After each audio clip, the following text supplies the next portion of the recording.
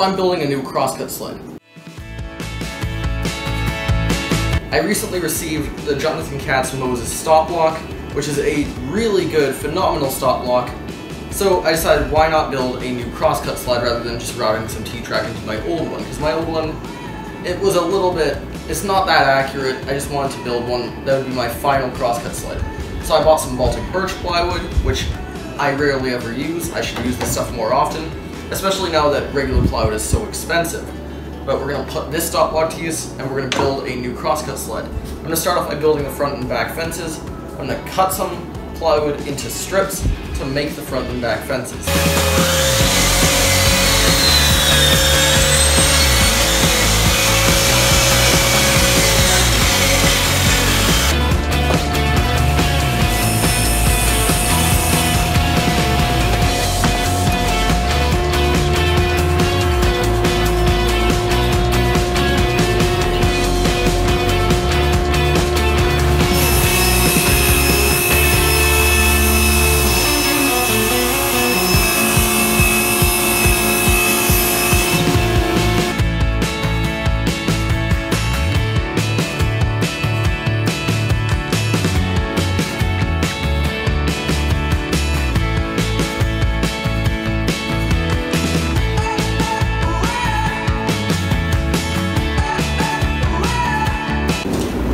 So while that's drying, I have this piece of uh, plastic here.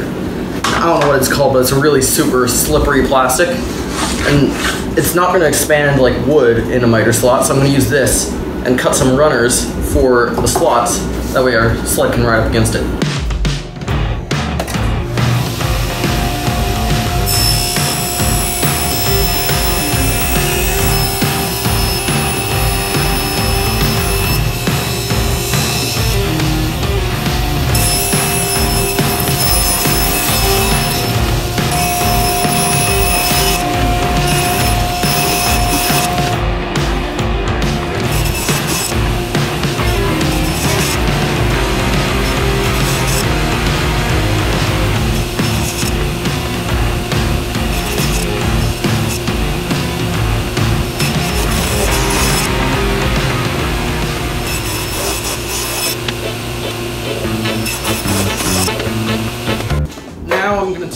Base, this piece of plywood, cut it down and make a nice surface that we can attach the runners to.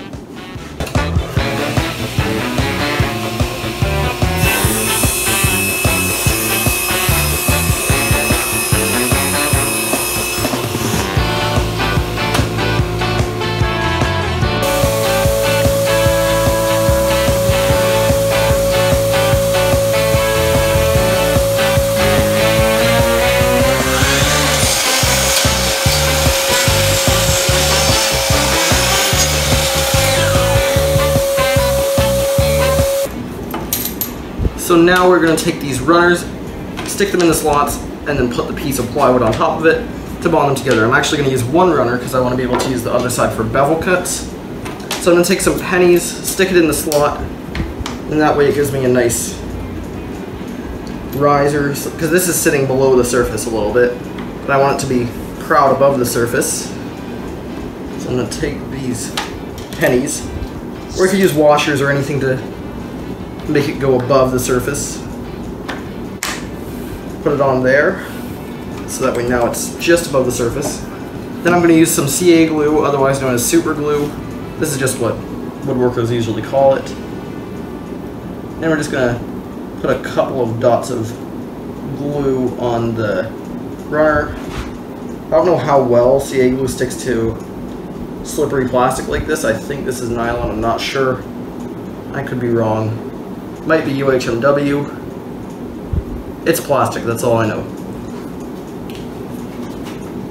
Now I'm going to take the sled itself and just stick it right to the plywood. Stick it to the CA glue, making sure it's flush with my fence.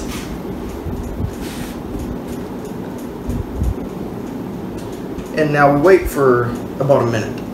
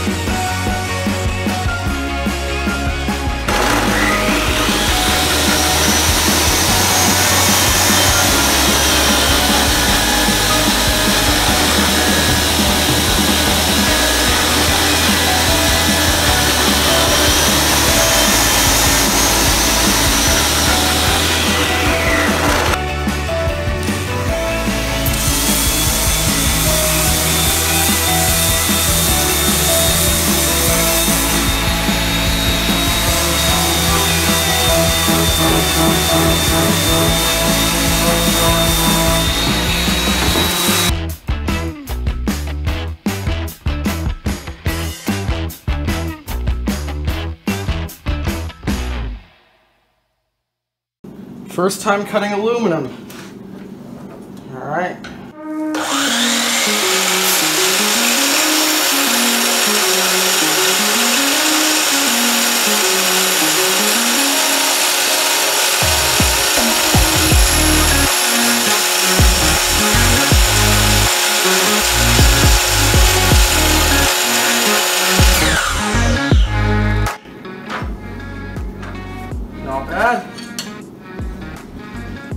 Cut. Went a little slow just to be on the safe side, but there we go.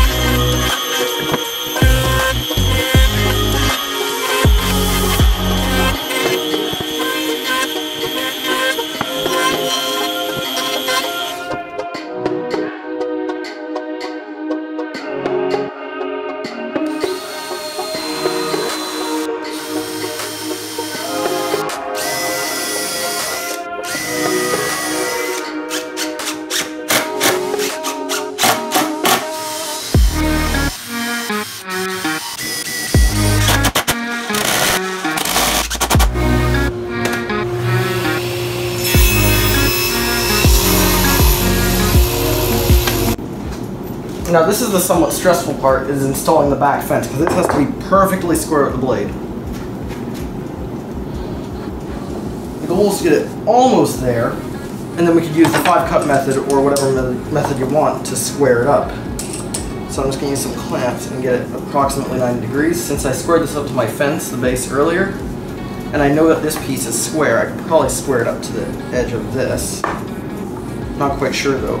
Might need to do a little bit of fine adjustment.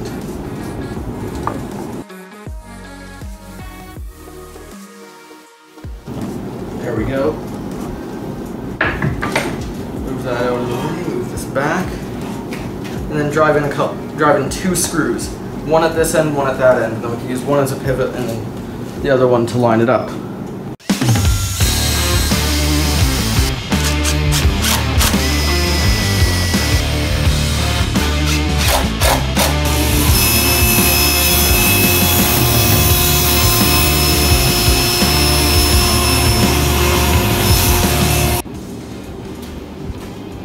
So now I'm going to test if it's square. I'm going to use the five cut method to see if it's square, and if not, then we can always adjust it using using some some measurement.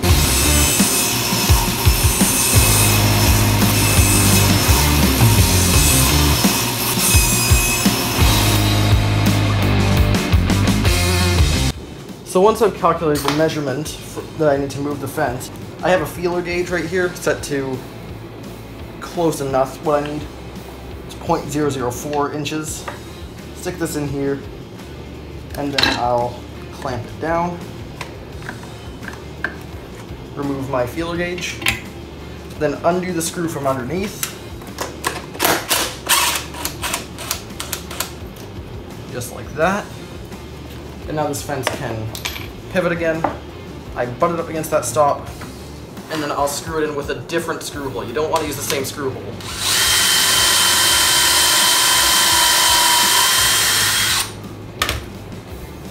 Countersink it so that way the screw is flush. And then put the screw in the new screw hole.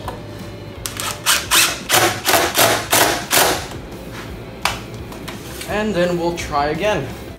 Another five cut method. Double check the math, see if it's square. If it is, then this crosscut sled is almost done.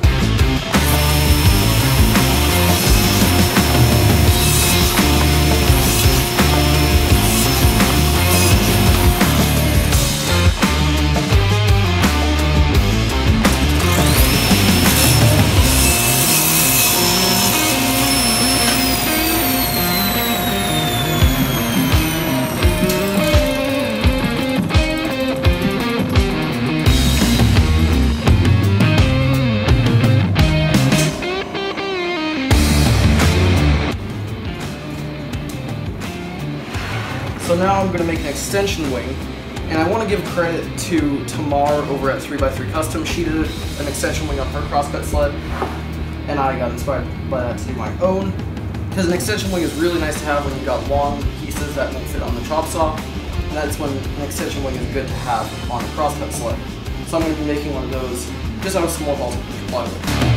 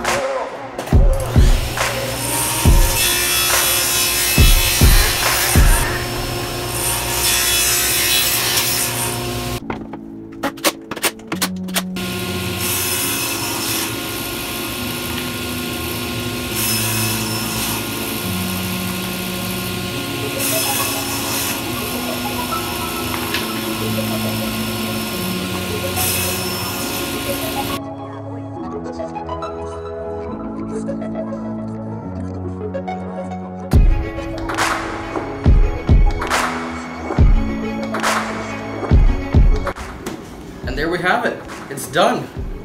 What would I change about it?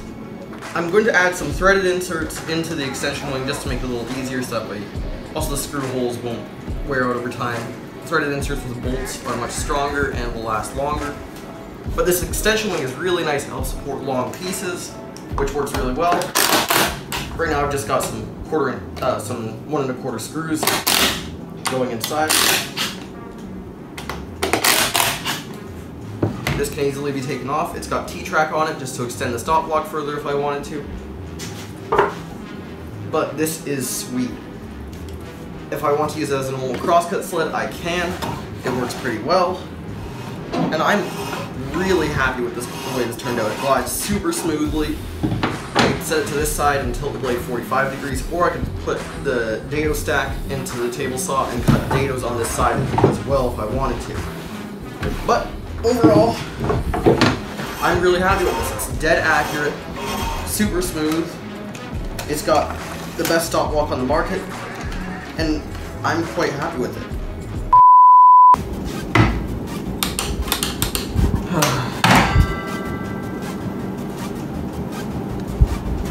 Tools work a lot better when they have electricity on them.